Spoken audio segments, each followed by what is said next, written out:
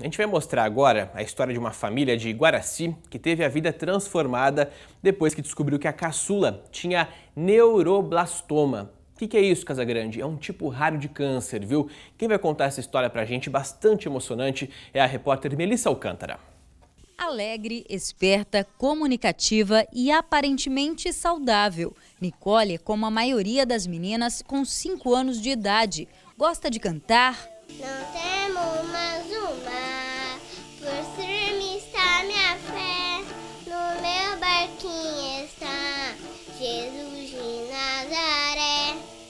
Adora dançar, andar de patinete e se maquiar. Mas há três anos ela convive também com uma dura rotina de exames e internações. Agora, ela pode ter ainda que assimilar uma longa viagem para Boston, nos Estados Unidos, em busca de uma oportunidade de vida. Eu tô achando que vai ser legal, porque eu gosto de neve. Tá curiosa para conhecer a neve? Tô. Nicole sofre de neuroblastoma, um tipo raro de câncer. São cerca de 15 mil registrados em todo o país. Crianças com menos de 6 anos costumam ser as mais afetadas. O da Nicole está localizado entre o coração e o pulmão. Foram mais de quatro meses de sofrimento para que a doença fosse diagnosticada. Até isso acontecer, a menina era tratada com remédios e antibióticos para gripe alérgica, rinite, sinusite e o quadro só se agravava. A criança ficou irreconhecível. Manchas roxas, inchaço, principalmente no rosto. Ela sentia vergonha de sair de casa e a mãe, desesperada, não sabia o que fazer. Eu achava que eu estava perdendo a minha filha. Eu, eu falava, gente, minha filha está morrendo e eu não sei o que, que ela tem. É a impotência de não saber o que você vai fazer. Eu não sabia, não tinha médico que me dizia o que fazia, até eu descobri que era essa maldita doença. Em Barretos, no Hospital de Câncer, a doença foi corretamente diagnosticada. Mais exames, internações, cirurgias e muitas sessões de quimioterapia. Nicole reagia, mas não saía do hospital. Quase não ficava em casa. Eu quase não ficava em casa, ela também não. A escola ela quase não foi, porque não conseguia né, devido ao tratamento, devido à baixa resistência. O desgaste físico só não era maior do que o emocional. Letícia, a filha mais velha, tinha que entender a situação. Não tinha escolha. Eu fico lá ao lado da minha mãe, eu dou força para ela. Eu não gosto de ver ela triste. Quando a minha irmã tá triste, eu fico é, tentando, fico tocando ela bastante para ver se ela ri. Aos 16 anos de idade, as dificuldades da adolescência ficaram pequenas diante do drama vivido em casa. Para a mãe, restava sofrer calada por conta de mais essa dor. Um dia eu cheguei do hospital e ela falou assim: Mãe, essa casa é tão vazia sem a senhora. Essa casa é sem vida sem a senhora e a Nicole. Tudo o que podia ser feito em busca da cura de Nicole foi feito por médicos e pela família, que se mantiveram fortes por recomendação de psicólogos.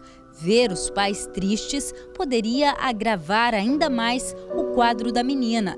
Depois de dois anos de tratamento, era hora de encarar a dura realidade. Não existe mais quimioterapia, que agora o que restam para Nicole é só os tratamentos paliativos.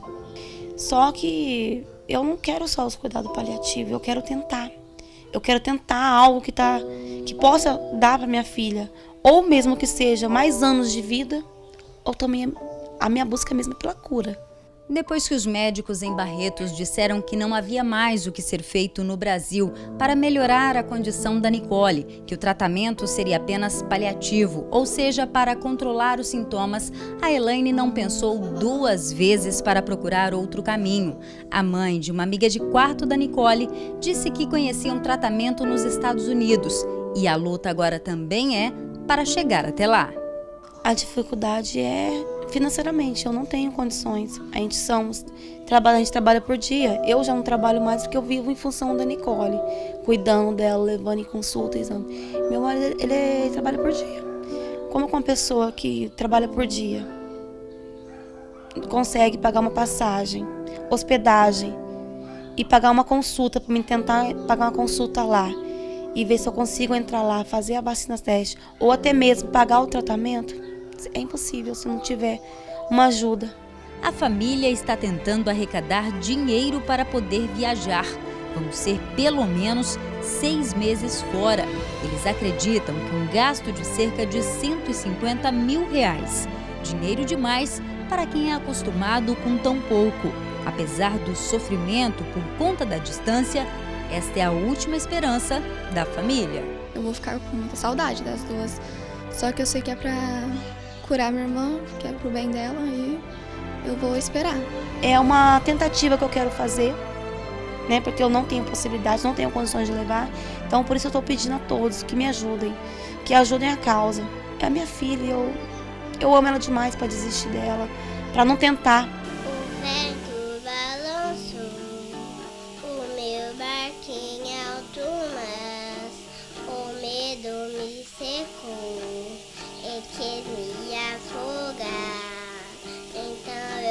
Eu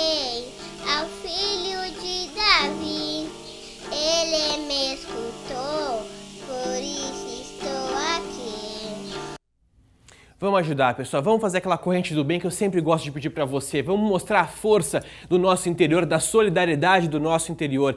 Quem puder ajudar, vamos ajudar sim. Vamos mostrar esse gesto. Não importa a quantia. Se você puder 10, 15, 20 reais, não importa. Faça a sua doação para que ela possa fazer o tratamento nos Estados Unidos. É só fazer uma, uma, um depósito na conta corrente do Santander, conta poupança, melhor dizendo, da mãe da Nicole. A agência é a 0478.